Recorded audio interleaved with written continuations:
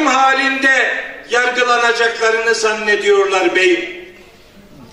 Hayır, takım halinde yargılanmayacağız.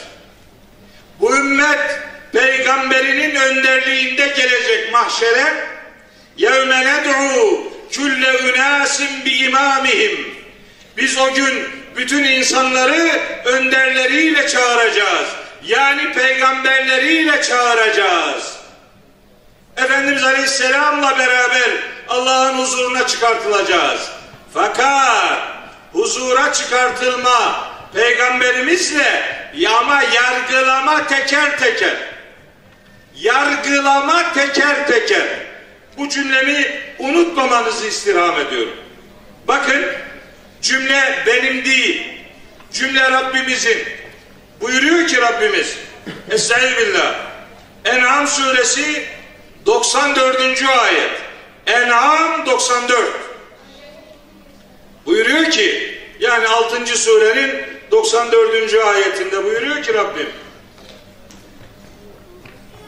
ve lekad ci'tumuna furada kema halaknakum evvele merretin sizi başlangıçta nasıl teker teker fert fert yarattıysak huzurumuza işte öyle teker teker geleceksiniz. Bak lekad ci'tumuna furada fert fert geleceksiniz. Teker teker takım halinde değil. Yani takıma bir soru sorulup da takımdan biri cevap verince sen de yırtamayacaksın. Bak kardeşim. Seni orada kimse savunamayacak kardeşim.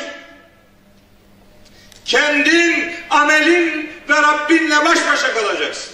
Aman, aman gaza gelme.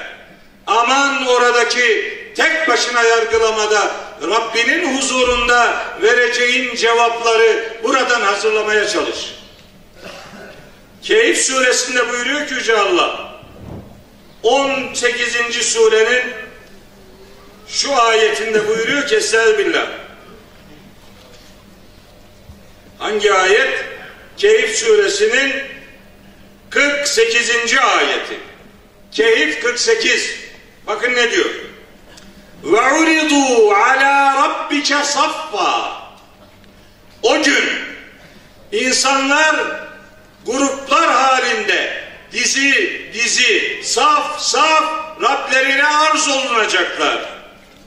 Fakat لَقَدْ جِئْتُمُونَا كَمَا خَلَقْنَاكُمْ اَوَّلَ مَرَّةٍ Sizi önce başta nasıl yarattıysak öyle geleceksiniz huzura. Teker teker. Fert fert geleceksiniz. Bakın Meryem suresinde buyuruyor ki Rabbimiz Meryem suresi 95. ayet. Meryem 95 ve küllühüm ati yevmel kıyameti ferda o gün hepsi Allah'ın huzuruna kıyamet günü fert fert çıkacaktır. E kardeşim nasıl sen takım bizi kurtarıra nasıl itibar edersin?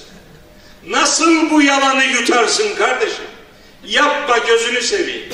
Burada seni savunacağını söyleyenler orada seni terk edecekler haberin olsun.